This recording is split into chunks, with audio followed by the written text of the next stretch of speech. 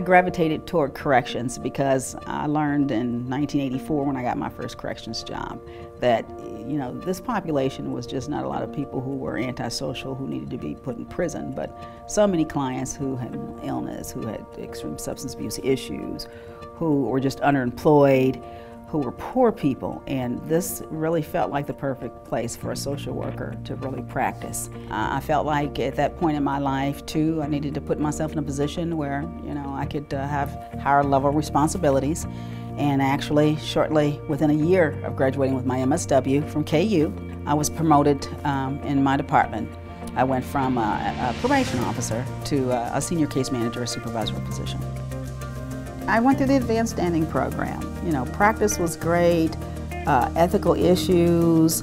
You know, the coursework really, what it did was, it was real pertinent to what it is that we do now.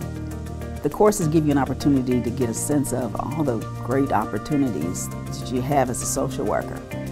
It's not about the money, but the bottom line is you don't have to be a poor person in order to practice social work because there's so many ways that you can use your skills.